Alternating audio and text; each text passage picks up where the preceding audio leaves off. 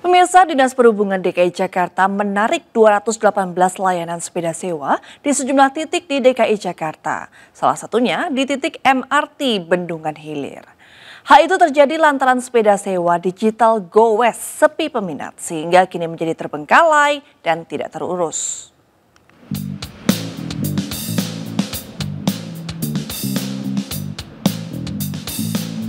Dinas Perhubungan di Sub DKI Jakarta menarik 218 layanan sepeda sewa yang berada di sejumlah titik di DKI Jakarta.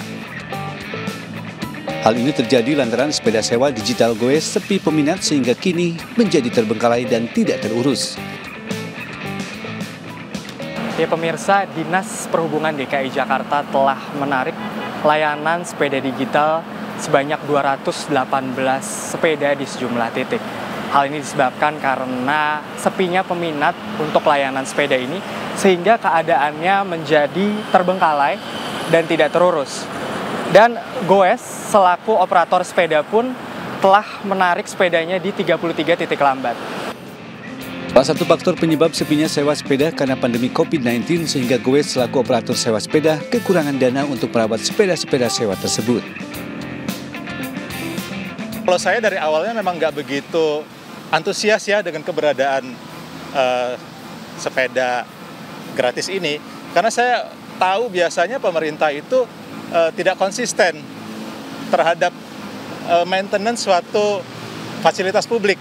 Jadi awal-awalnya sepertinya memang wow, sesuatu yang sangat uh, menguntungkan buat masyarakat untuk masyarakat penuh dengan ide-ide idealis tapi kemudian tidak konsisten sehingga seiring waktu biasanya terbengkalai, tidak terpakai atau malah jadi menghilang. Sementara anggarannya biasanya jalan terus dan biasanya mungkin malah tiap tahun makin meningkat. Jadi saya pikir saya nggak terlalu heran dengan penarikan sepeda gratis ini. Um, sebenarnya kalau misalnya aku sih ngelihatnya kayaknya nggak harus di semua tempat yang ditarik gitu loh karena kan sebenarnya kalau misalkan pengen uh, mengembangkan ruang publik untuk masyarakat gitu ya untuk bisa olahraga mungkin di spot-spot tertentu yang misalkan kayak daerah Senayan yang kayak gitu-gitu tuh jangan ditarik gitu karena emang ya itu medianya untuk kumpul bersama keluarga juga buat main-main gitu kan naik sepeda dan kalau misalkan di tempat-tempat yang jarang didatengin mungkin buat aku sih itu nggak masalah untuk ditarik gitu.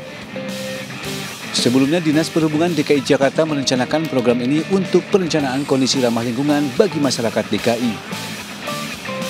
Dari Jakarta, Putu Bagus Pandu Priyoji Ainus melaporkan.